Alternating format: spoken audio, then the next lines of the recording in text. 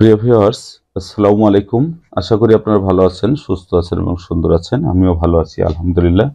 আমি আজ আবার আপনাদের মাঝে একটি নতুন ভিডিও নিয়ে এসেছি।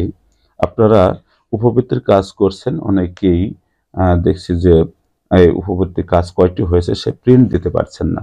সেই বিষয়টা আমি আজকে আলোচনা করব যে আপনারা কীভাবে সেই প্রার্থীগুলির যা এন্ট্রি করেছেন, সেগুলো প্রিন্ট দিবেন কীভাবে এবং যাচাই করে তারপরে উপজেলায় প্রেরণ করবেন।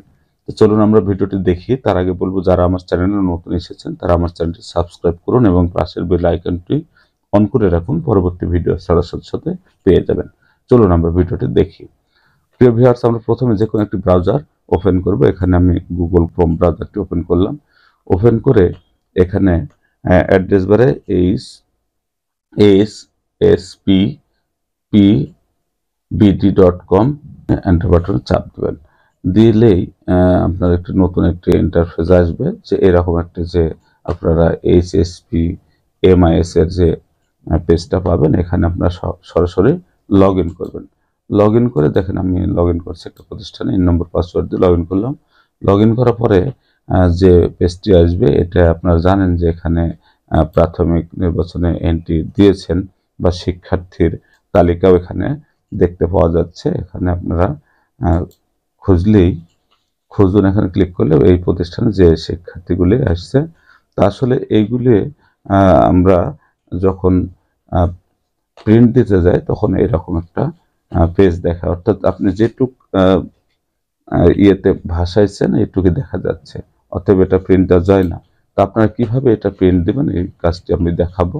তো চলুন আমরা এখানে প্রাথমিক নির্বাচন এখান থেকে বের হয়ে গিয়ে এখানে দেখেন রিপোর্ট রিপোর্ট আছে, এখানে শিক্ষার্থী রিপোর্ট এই জায়গাতে ক্লিক করবেন। ক্লিক করার পরে দেখেন, এখানে একটি পেজ আসছে, এখানে উপরে যা আছে সব ঠিক রাখবেন, শুধুমাত্র অর্থ বছর।